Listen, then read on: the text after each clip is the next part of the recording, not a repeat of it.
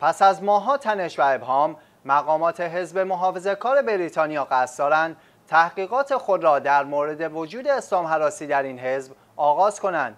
مایکل گووی از اعضای این حزب اعلام کرد این تحقیقات قبل از پایان سال جاری میلادی انجام خواهد شد. این خبر را گووی چند ساعت پیش از اینکه بوریس جانسون رسما فعالیت های انتخاباتی خود را برای انتخابات زود هنگام پارلمانی آغاز کند منتشر کرد. گووی گفت ما یک تحقیق مستقل درباره اسلام حراسی خواهیم داشت که تا قبل از پایان سال انجام می شود.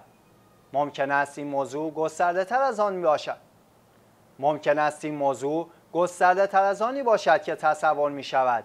ساجد جاوید رقیب بوریس جانسون در انتخابات درون حزبی برای رسیدن به نخست وزیری چند ماه پیش از اعضای حزب خواسته بود از تحقیق کامل و مستقل درباره اسلام حراسی حمایت کنند.